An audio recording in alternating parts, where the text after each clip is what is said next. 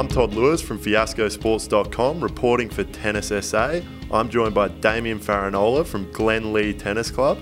Now, Damian, what do you hope to achieve from the State League season this year? I'm hoping to achieve uh, getting some quality matches in and also having some fun with my teammates in, in a team environment.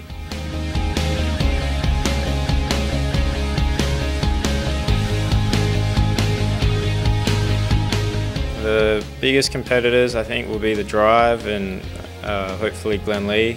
Uh, there's a lot of competitive players I think, especially at the top couple positions. Uh, I just graduated from in the US. I was over there studying and playing tennis at University of Louisiana. It was great getting away. Uh, I was over there by myself. I didn't know anyone. Had to do everything for myself, especially at the beginning. So it was, it was kind of hard, but I learned to manage and really enjoyed it. It's different culture, different experience, and I'm glad that I went. Hopefully I can use those experiences now to perform well in the State League. Next for me is in tennis, uh, playing the Australian Future Circuit and just trying to enjoy every match and see where it takes me.